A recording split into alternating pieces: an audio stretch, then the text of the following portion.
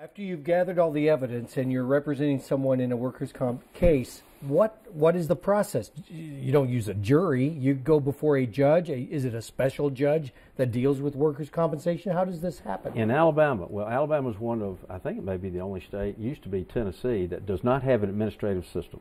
The rest of the states have an administrative system. It's not done in the courts. That just deals with workers' In Alabama, it is with the courts, and it goes to the circuit judge to determine it.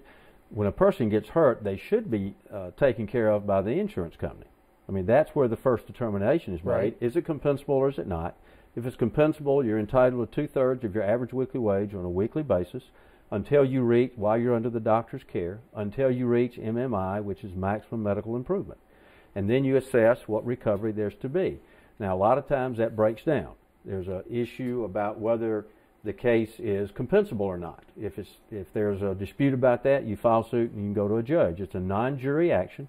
You go before a judge. The judge determines whether the case is compensable under the Workers' Comp Act, and if so, the extent of impairment or disability, and then that percentage figure is plugged into formulas that are already in the law that tells you the amount of money you get. You're around law all the time. It sounds it makes sense to me to go to a what other states do and have a system to go through. However, I'm not a big fan of creating another layer of government agency for the taxpayers to pay for. Yeah, I think maybe all states have some area of the law that's arcane, basically, that's lagging. When in the, on the personal injury side, we have something called the Alabama Guest Statute Right. that prevents you if you're if you're riding with someone, say a friend, they're negligent.